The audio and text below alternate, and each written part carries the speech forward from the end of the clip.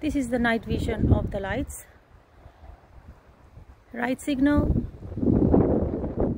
The left signal is there. Signal off headlight. A little bit shiny. High beam. High beam off. Headlight off. Good. Hazard light. Yeah that's the hazard light on both sides hazard light off. Good. Washer wiper perfect good job well done.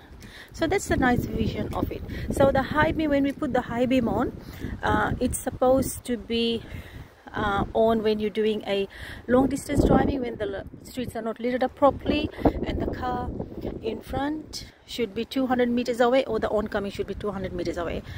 Okay that is the brake lights there. Okay foot of the brake foot of the brake. Right signal. Good that's your right signal. Now the left signal signal off. Okay. Now we're gonna put the reverse lights on. Perfect.